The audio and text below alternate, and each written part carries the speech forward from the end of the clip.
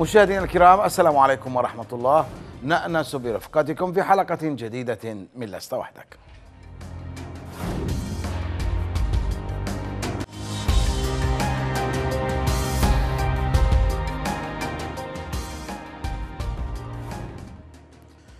الحياة الآمنة في ظروف كريمة حق لكل إنسان. واحترام حق الإنسان في الحياة والأمن والكرامة والحرية وغيرها من حقوق الإنسان واجب الجميع تجاه بعضهم. هكذا قالت خلاصة تجارب المتحاربين والمسالمين خلاصة عصور الحروب والصراعات أوصلت البشر إلى مجموعة من النصوص التي تلخص حقوقهم وواجباتهم تجاه بعضهم البعض. ولأن طبيعة البشر لا يمكن أن تتحول إلى طبيعة الملائكة حيث تزول أسباب الصراع وتنتهي الحروب. ولأن الحروب شرا متوقعا على الدوام فإن للحرب أيضا من الأحكام والقوانين ما يضمن تخفيف آثارها على المدنيين إلى درجة تقارب الصفر فيما لو تم احترام هذه النصوص. هذا ما يقوله شراح القانون لكن الطفل آية هاء المهدي تحاول أن تقول لنا بلغة الإشارة شيئا عن فجيعتها وألمها. نتابع ثم نعود. ستنتهي الحرب ذات يوم.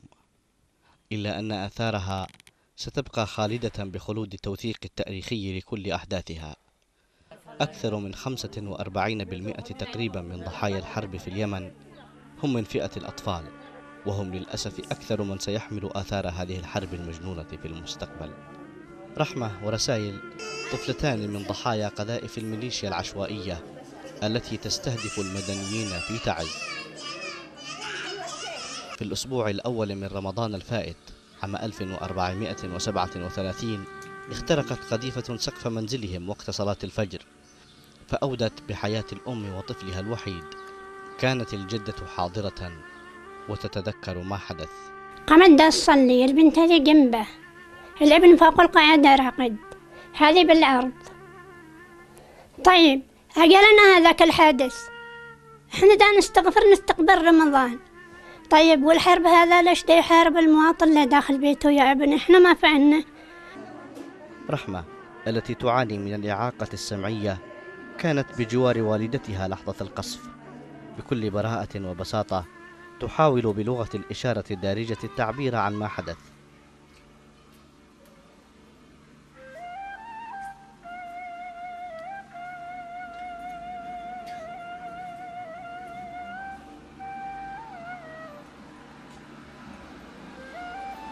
حاولت شقيقتها رسائل توضيح ما قالته رحمة.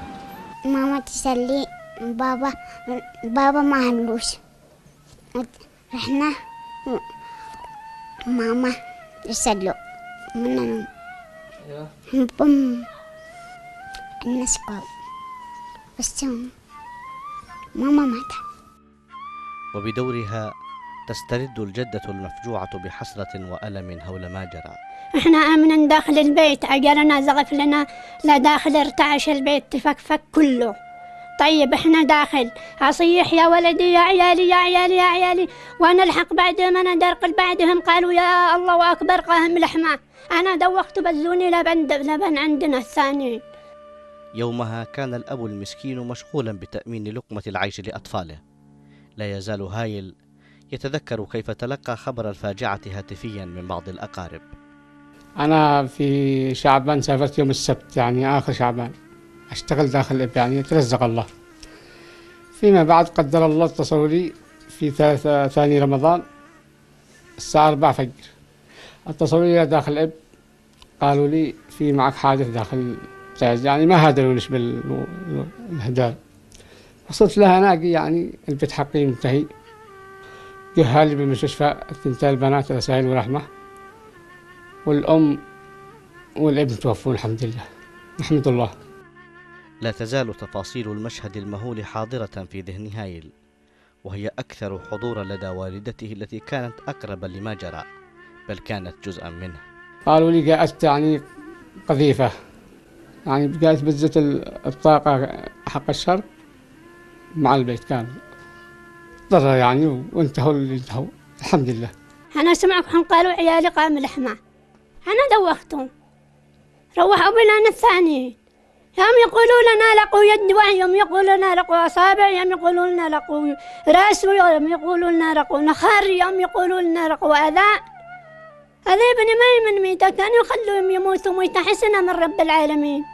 إحنا نشتي رب العالمين يميتنا ما شيناش العالم يموتونا. ها؟ يصيرونا لحمة ليش؟ دمرت الميليشيا البيت البسيط الذي قضى هايل عمره يبنيه ليكون عشا يؤوي أسرته وأطفاله. في لحظات نسفت حلم الأسرة بالاستقرار النفسي والمعيشي وتركت أوجاعا ظاهرة لا تزال البريئة رسائل تحملها. لم يعد هايل لشغله في إب. أصبح ملزما بالبقاء مع طفلتيه ليخفف عنهما شيئا من هول المصيبة ولا يزال متأثرا من تبعات الحادث وبات التشاؤم يلف تفكيره عند الحديث عما يسمى بالمستقبل. أصلا ما فيش مستقبل هذه الأيام للشباب كامل وال- والبنات وال والجهل كامل. ما عارفش مستقبل خاص. المستقبل كله موت كله فقايع قذايف رصاص فوقنا يعني إيش مستقبل؟ إيش تشوف المستقبل الحين؟ مستقبل فقع مع ذلك لا تزال الدنيا بخير كما يقال. فقد تداعى المحسنون للإغاثة والنجدة وتعاونوا بتوفير مسكن بسيط وبعض الأثاث. أهل الخير جابوا لنا غرفة وحمام. جالسين يعني قيس ل 15 رمضان وأنا بالمستشفى أنا والجهاز رجعنا جابوا لنا الغرفة هذه وال والحمام. الحمد لله جالسين جابوا لنا غير فراش. يعني أنا حقي خلاص انتهي. البيت نفسه خلاص منتهي. شوف انت يعني لو واحد الله يشوف. من دمر نهائيا. إحنا لا شينا من حكومتهم ولا معنا معاش من حكومتهم ولا شينا شيء يحاربوا اللي يحاربهم وإحنا يا ابني ما فعلنا بهم. إحنا ما عملنا يا ابني إحنا مواطنين.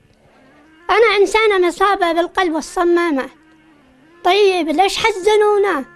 ليش خلوا رمضان جزع ما درينا ما هو يا ابني حرام؟ ليش؟ إحنا حازنين على ابن راح ومرأة وبيت. ما فعلنا يا ابني بالناس. ليش يضربوا على الناس عشوائي؟ ليش؟ هل لهم عدم ناس؟ هل عدم عرب؟ هل عدم رحمة لهم؟ هل عدم مسلمين؟ اليهودي ما عملش زي ما هم. بالتأكيد تعجز أدوات ميليشيا البغي والتفجير عن توفير إجابة عن هذه التساؤلات ولو بالحد من استهداف المدنيين مراعاة للحقوق الإنسانية التي تمليها أخوة الأرض والدين. وبين وحشية الميليشيا وإهمال الحكومة تراوح أوضاع الضحايا من مثل أسرة هايل المنكوبة وتتكرر النداءات والمناشدات. الحكومة أنهم يلفتوا لعند الرعاية المساكين يشوفوا الناس اللي يتضرروا. ما شاء الله أنا في كثير ناس من المتضررين. يشوفوا لعندهم يت- يعني يت- يتوقعوا معاهم. مش خلاص الفقير ينتهي والغني يقس على ما هو. لعل مناشدة هذا الأب الموجوع تلامس نخوة مسؤول إنسان وعسى معاناة رحمة وصرخات رسائل وآلامها تستفز ضميرا فيه بقايا إحساس. وفي كل الأحوال سيبقى الإعلام والمسؤول إلى جانب الضحايا لأنهم فعلا ليسوا وحدهم.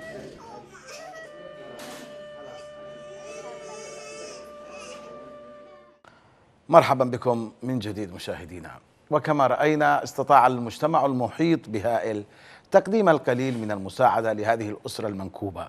مساعدة مجتمعية وفرت لهذه الأسرة مأوى وبعض الأثاث لكن تجاوز الحالة المأساوية لهذه الأسرة وغيرها من الأسر التي تمثل الغالبية العظمى من السكان في اليمن تحتاج إلى مشروع مؤسسي بإمكانيات دول تغطي الاحتياجات وتعمل على تخفيف آثار نكبة الحرب.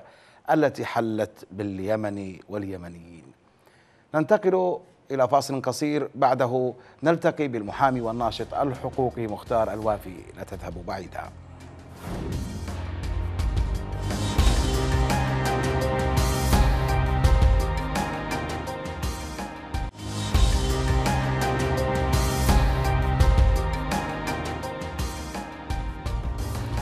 مرحبا بكم مجددا مشاهدينا الكرام كما أرحب بضيفي الناشط الحقوقي والمحامي مختار الوافي. مرحبا بك أستاذ مختار. أهلا وسهلا مرحبا بك وبالأخوة المشاهدين. آه، شاهدنا قبل قليل فيلما آه، قص جانبا من مأساة أسرة تعرض منزلها لقصف في رمضان الماضي كقانوني متخصص في الدفاع عن حقوق الإنسان من يتحمل مسؤولية قصف مناطق سكن المدنيين في البداية وقبل أن نحدد من المسؤول لابد من إيضاح بعض الأمور حتى نضع الصورة واضحة. نعم تفضل. القانون الدولي الإنساني المنظم لأعمال الحرب لا سيما في اتفاقيات جنيف الأربعة لعام 1949 والبروتوكولين الإضافيين لهذه الاتفاقيات لعام 1977 قد أوجب على الأطراف المتحاربة سواء في نزاع دولي أو نزاع داخلي ذو طابع دولي أن تقصر هجماتها على الأهداف العسكرية. وعرف الأهداف العسكرية بأنها تتمثل بالأفراد والأعيان الذين يقومون بمساهمة فعالة في الأعمال العسكرية. وبين كذلك أن الأعيان المدنية هي تلك التي لا تساهم مساهمة فعالة في العمل العسكري. مثل المنازل والشقق السكنية والمحال التجارية والمستشفيات والمدارس إلى آخر ذلك. ووفقا لهذا فإن الأعيان المدنية تتمتع بحماية القانون الدولي الإنساني أثناء الحرب. وتتجلى هذه الحماية في القاعدة الأساسية المتمثلة في مبدأ الحصانة العامة للأعيان المدنية. ووفقا لهذا يكون آه قد جعل للأعيان المدنية والأشخاص المدنيين حماية وأي انتهاك يتعرض آه له هؤلاء المدنيين وأعيانهم تقع تعتبر جرائم حرب مسؤول ومن يرتكبها مسؤول أمام القانون الدولي الإنساني. أما بخصوص من يتحمل مسؤولية قصف مناطق سكن المدنيين فإن مسؤولية قصف مساكن المدنيين تقع على من ارتكب الفعل المخالف للالتزامات الدولية. أي أن المسؤولية الجنائية الدولية في جرائم الحرب تطال منفذي الجرائم والقادة الذين أصدروا توجيهاتهم إلى القادة الميدانيين المنفذين. ولا يجوز هنا ولا يجوز للمتهم المنفذ المباشر بالدفع بأنه ارتكب الفعل تنفيذا لأوامر صادرة من قياداته العليا. نعم هنا هذه هي المسؤولية الجنائيه على من ارتكب الفعل المباشر. أي من قصف الأعيان المدنية، من قصف المساكن هو المسؤول أمام القانون الدولي. نعم ماذا عن من اشعلوا الحرب برمتها أسباب الصراع العامة هل تطالهم هذه المسؤولية التفصيلية عن المرتكب المباشر للجريمة؟ طبعا القانون الدولي الإنساني تدخل أثناء النزاع لكن فترة ما قبل النزاع والإعداد هذه هنا يتدخل القانون الدولي لحقوق الإنسان في أعمال وقائية من نشوب الحرب نعم. طبعا من أهداف القانون الدولي الإنساني أعمال وقائية تكون قبل الحروب في إجراء مفاوضات إرسال مندوبين إرسال بعثات من الأمم المتحدة لمنع وقوع نزاع مسلح. لكن متى ما وقع النزاع المسلح؟ تتدخل القواعد الأساسية في إدارة الحرب اللي هي قواعد إدارة الحرب المنصوص عليها في الاتفاقيات الدولية والتي ترتب المسؤوليات الجنائية عن الأعمال المرتكبة في حالة النزاع المسلح وحماية المدنيين وما هي مسؤولية كل طرف وما هي الإخلاقيات المتبعة منه أثناء هذا النزاع. التراتبية في الأوامر. نحن نعرف أنه آه يعني عصابة مثل الميليشيا دائما تلتزم لديها تراتبية في الأوامر خاصة في بعض المناطق مثل تعز والبيضاء. هنالك أوامر تأتيهم من آه قيادة هذه الميليشيا باستمرار القصف آه بشدة يعني هذا القصف وضراوته تبعا للمسار السياسي. فهل يعني وهذه كلها أعمال قائمة أثناء الحرب وليست قبل يعني هل هؤلاء يمكن أن تصلهم أو تطالهم المسؤولية الجنائية عن هذه الجرائم؟ نعم نعم تطالهم المسؤولية الجنائيه الجنائية عن هذه الجرائم، الفرد المنفذ والآمر والمسؤول وقائد الجماعة جميع المسؤولين سواء في ظل في مثل هذه الجماعات جميع من شارك من نفذ من خطط حتى المساعدة حتى الاشتراك حتى التحريض كل هؤلاء يقعون تحت طائلة المساءلة الجنائية. وهناك أوضح القانون الدولي كذلك مثلا لأن عندما ترفع دعوى جنائية تذكر فيها جميع المسؤولين والشخص الذي يقول أو يدعي الدفاع بأنه قام باحتياطات لازمه يوضح هذا القانون الدولي كفل ما هي الإجراءات التي تبرر القادة ما هي الإجراءات التي اتخذها لمنع أضرار المدنيين ما هي الإجراءات التي اتخذها لعدم التوجيه ما هي الإجراءات التي اتخذها في عدم حصول كوارث بحق الإنسانية والمجتمع الإنساني والمدني. يعني هل يبرر هل راعى قواعد ونصوص القانون الدولي أثناء النزاع وإلا, وإلا يكون مسؤول أمام القانون الدولي الإنساني عن هذه الأعمال المنفذ والمباشر والمساعد والمحرض وجميع القادة. كيف يمكن الوصول إلى المستويات الصغيرة وهم عادة آه، يتسترون خلف كنى يعني بليدة أبو علي قال أبو كرار قال ابو من هذه التسميات كيف يمكن إلى الوصول لهؤلاء المسؤولين الصغار المباشرين بينما لدينا بالمقابل آه، خطابات آه، تحض على الاستمرار في هذه الحرب المقدسة كما كان يطلق أو ما كما يطلق دائما آه، عبد الملك الحوثي على حروبه وجرائم جماعته. طبعا لا أخفى عليك وعلى الإخوة المشاهدين إن هذه الإشكالية هنا بأنه يقع عائق حتى أمام المنظمات التي ترصد الانتهاكات إن لا تتوصل عن أو لا تحصل عن اسم الأشخاص المنفذين المباشرين لكنها في المقابل تضطر هنا لأن ترفع الدعاوي أو تسجل الانتهاكات أو المسؤول عن الانتهاكات الجماعة أو قائد الجماعة بشكل عام إما القائد في المحافظة أو المرأة يعني الشخص المعروف التراتبية يعني, يعني أي أي أيوة أقرب أيوة معرف كما يقال أيوه أيوه أيوه نعم نعم. وهو بعد ذلك يأتي بالأشخاص المنفذين آه، لكي يبري نفسه أو لكي يخرج من طائلة المسؤولية أكيد سيوضحه. نعم. ماذا عن التعويض لو انتقلنا إلى نقطة تعويض من بقي من هؤلاء المواطنين الذين تعرضوا للقصف وللتشريد وأيضا لإصابات مباشرة وظلوا على قيد الحياة من المسؤول عن تعويضهم وعلاج جرحاهم؟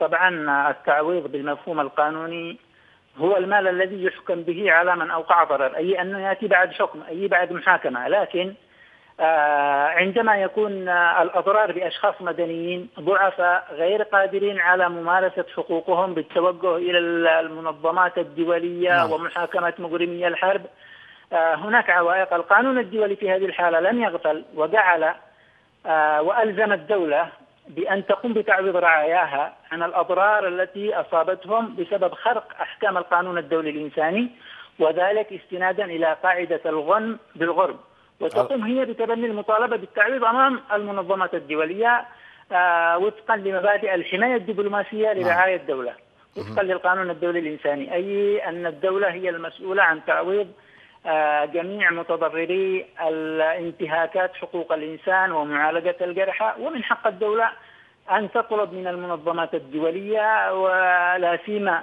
اللجنة الدولية للصليب الأحمر منطقها هذا العمل وهي مختصة وهناك اتفاقية تحدد عمل اللجنة الدولية للصليب الأحمر في مساعدة الدول أثناء النزاعات المسلحة في تقديم الرعاية والعناية آه، لا سيما للجرحى والمتضررين أما التعويضات عن البناء والآثار هذه تكون على عاتق الدولة عن طريق انشاء لجان وعمل صناديق للتعويض وإلى آه، ما لا نهاية من هذا القبيل.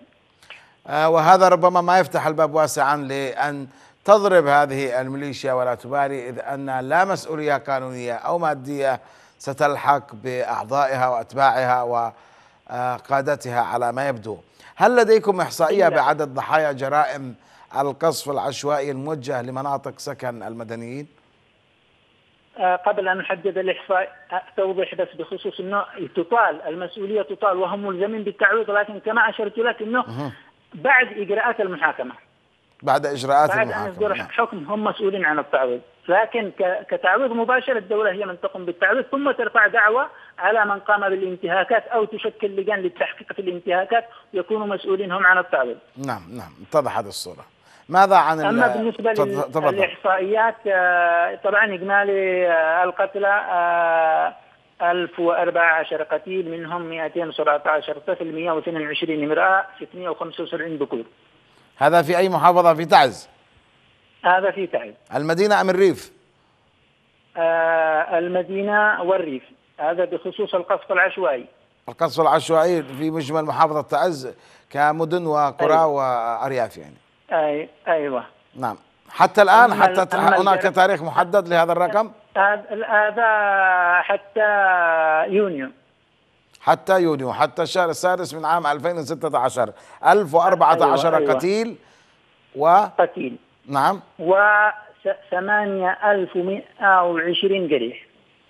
8120 جريحا. ال- ال- المساكن هذا بحسب بحسب الإحصائيات المتوفرة لدينا. نعم. هل هناك إحصائيات للمساكن التي تم قصفها نسفها وتدميرها ليست إحصائيات دقيقة لكن يمكن يمكن. إحصاء هذه هذه الأمور فعلا في وقت لاحق ممكن يعني هي لن- هناك منظمات ترمم هناك من منظمات. قد قامت بعمل إحصائيات ورفع تقارير للجهات سواء الحكومية أو الدولية بهذا ال- ال- الخصوص. صحيح كيف تقيم آه، أستاذ مختار أعمال لجان التحقيق وأنشطة الرصد فيما يتعلق بالجرائم الموجهة نحو المدنيين بالنسبة للجان التحقيق بانتهاكات حقوق الإنسان لا يوجد سوى اللجنة المشكلة بقرار من رئيس الجمهورية بخصوص نعم. التحقيق في انتهاكات حقوق الإنسان منذ عام 2011 وحتى الآن والتي بدورها آه، شكلت فريق عمل إداري لاستقبال الشكاوى لكن إلى الآن آه، لم آه، تجرى تحقيقات فعلية أو آه، في الشكاوى التي قد آه، قدمت لها والسبب أعتقد ربما يعود إلى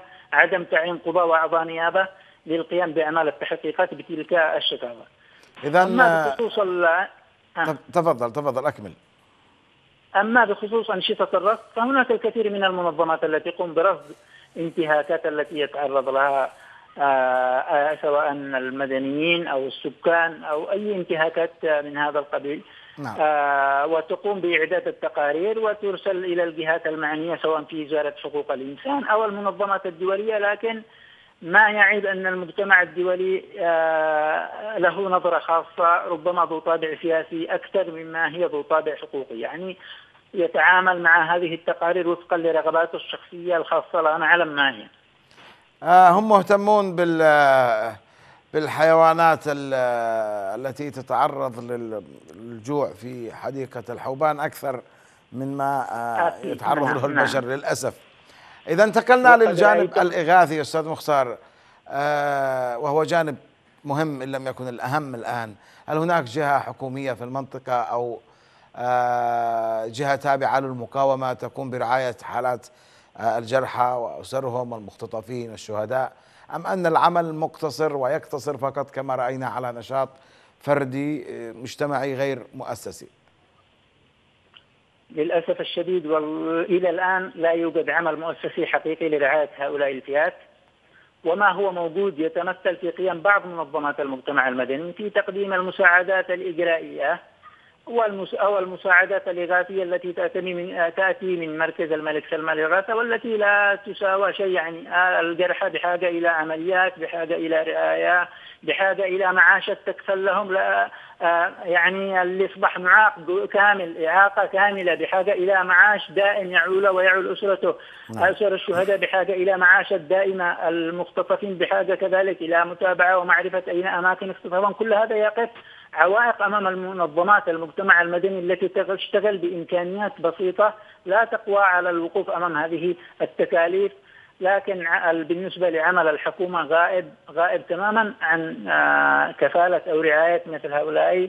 وحتى اللجنة الدولية للصليب الأحمر آه، عملها قاصر وعاجز برغم أنها هي المناطة أساسا في أثناء الحروب بالقيام بمثل هذه الأعمال ولا سيما آه، بشكل رسمي الاهتمام بالجرحى والمختطفين من صميم أعمال اللجنة الدولية للصليب الأحمر وفقا للقانون الدولي هذا نعم. يعني إحنا لا نفتري هذا القانون الدولي حدد انه اللجنة الدولية بيعتبر إنها تشتغل بحياد وأنها تكون في الميدان وقريبه من الأطراف المتنازعة نعم. هي مسؤولية عن الجرحى وعن المختطفين وتعرف أين أماكن تواجدهم وكيف السبل اللي فرق عنهم لكن أعمال منظمات المجتمع المدني آه، تعلم انت عصابات مسلحة لو إحدى المنظمات كلف. مندوب من قبلها ليعرف أين مصير مختطف ربما يختطف هو من ضمن المختطفين يعني ولا يعود. صحيح. آه، أستاذ كيف تفسر وبماذا يمكن تفسير هذا القصور الملحوظ للجنة الدولية للصليب الأحمر آه، خاصة في مناطق تعز والبيضاء وهذه المناطق المحسوبة على المقاومة. يا أخي العزيز كما ذكرت لك المجتمع الدولي اللجنة الدولية هي جزء من المجتمع الدولي من منظومة الأمم المتحدة والذين يشتغلون بأسلوب مخابراتي سياسي يخدم توجهات خاصة. يعني لا نعلم متى ما يريدوا أن يفعلوا حقوق الإنسان يفعلوها متى ما يريدوا أن يتغاضوا يتغاضوا. ارايت كيف فعلوا قضيه محاصرة السراري؟ وأرسلوا لجنة دولية بينما تجاهلوا قضية حصار مدينة. المدينة برمتها لم يتفاعل معها أحد. أستاذ مختار هل تسمعني؟ يبدو أننا فقدنا في اللحظات الأخيرة الاتصال بالأستاذ مختار الوافي. كنت معنا آه، عبر الهاتف المحامي والناشط الحقوقي. شكرا جزيلا لك. مشاهدينا الكرام انتهى وقت هذه الحلقة. نذكركم بأن وسائل اتصالنا مفتوحة من خلال الإيميل الظاهر أسفل الشاشة أو عبر صفحتنا على الفيسبوك. كما يمكنكم مشاهدة الحلقات السابقة من البرنامج على قناة بلقيس على اليوتيوب أو قناة البرنامج على التليجرام. رسائل وآية هائل تمرست في أمان الله.